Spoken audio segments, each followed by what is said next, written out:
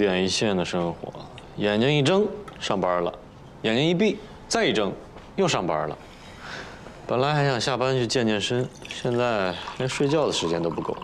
哎呀，这话是这么说，但是时间呢，就像海绵里的水，挤一挤总是会有的。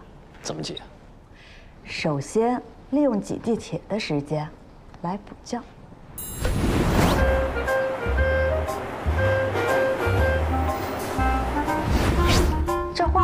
是啊，在家里只涂一个水乳，后续的到了办公室再进行。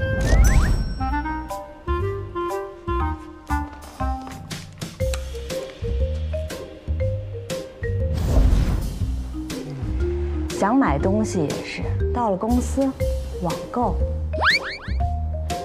要是生了小病，利用午休时间就可以去医院躺着了。你帮我看一下我的指甲，我刚摇盲盒的时候把指甲给摇破了，你快帮我补补。哦，那健身呢？这还不好办？在公司五楼以下的爬楼梯。我明白了，积少成多，是吧？一点一滴的时间把它省下来就可以。都用在加班上，